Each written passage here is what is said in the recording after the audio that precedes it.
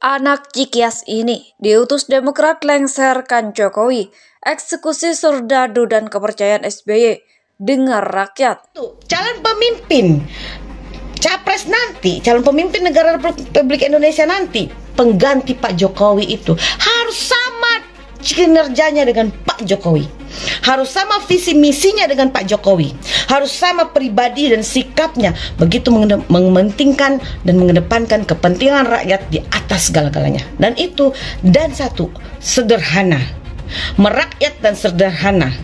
Jangan cari calon pemimpin yang terlalu elitis ya jangan yang nggak mau capek yang yang nggak mau kepanasan gitu loh sedangkan rakyat Indonesia ini butuh pemimpin yang dekat sama mereka seperti Pak Jokowi ya Jangan tinggalkanlah cara-cara lama seperti apa tuh uh, Susilo Bambang Yudhoyono hanya melihat rakyat dari jauh tapi tidak mau mendekati dengan tidak mau mendekat dengan rakyatnya. Tapi beda dengan Pak Jokowi, begitu dekat dengan rakyatnya. Makanya calon pemimpin nanti harus sama dengan Pak Jokowi.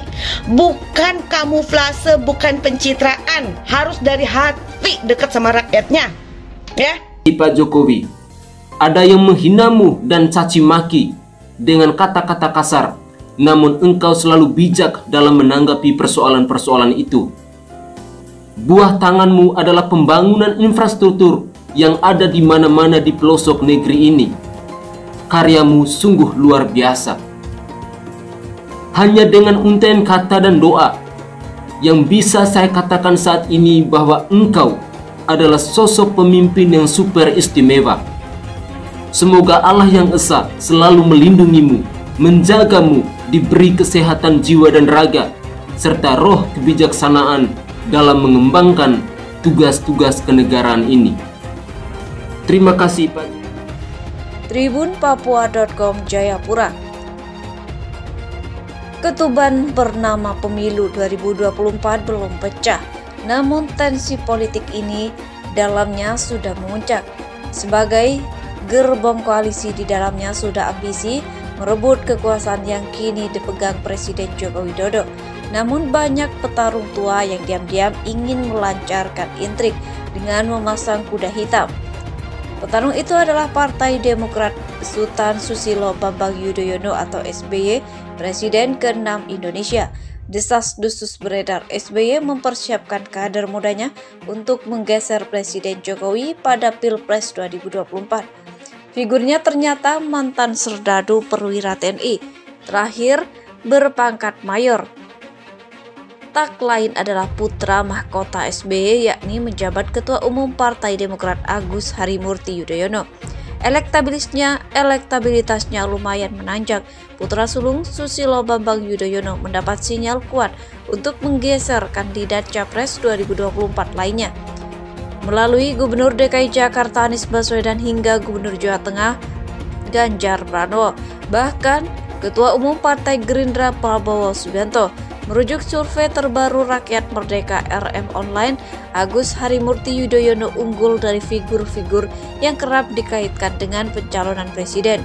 Hasil survei RM Online AHY meraup dukungan 15,6 suara atau 19,01 persen dari total 82,093 dukungan.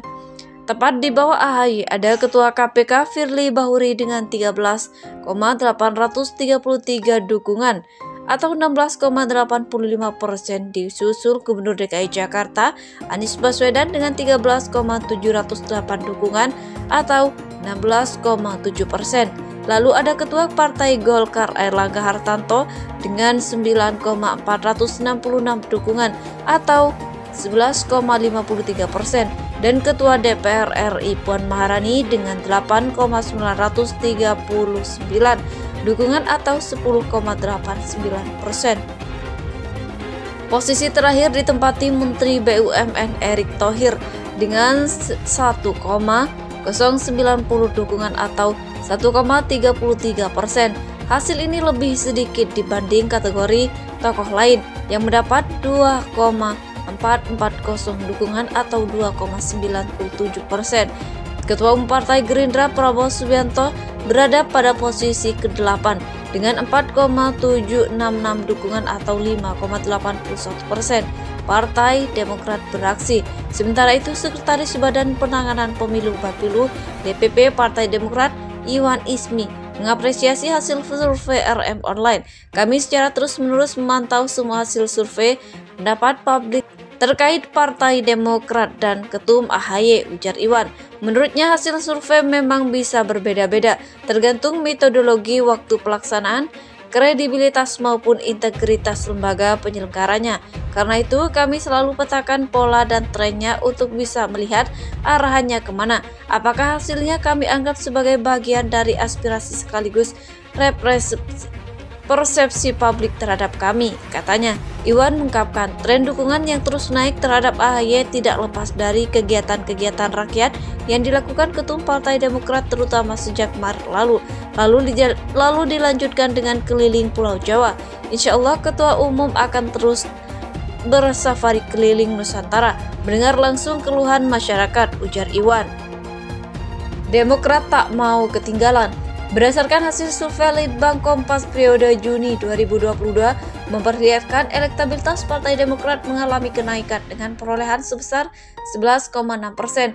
Angka yang diraih Partai Demokrat berada di posisi ketiga atau di bawah elektabilitas dari PDI Perjuangan yang mendapatkan 22,8 persen dan Partai Gerindra di angka 12,5 persen. Dalam kunjungan tersebut, AHY juga merespon perihal pertemuan politik yang dilakukan Partai Demokrat dengan parpol lain. Partai Demokrat percaya besarnya peranan Ketua Umum Agus Harimurti Yudhoyono yang terus memimpin konsolidasi dan perbaikan partai. Hasil ini menunjukkan beliau terus mengupayakan perbaikan, ujar Kepala Komunitas Sekretaris Partai Demokrat Herzaki Mahendra Putra dikutip dari Kompas TV.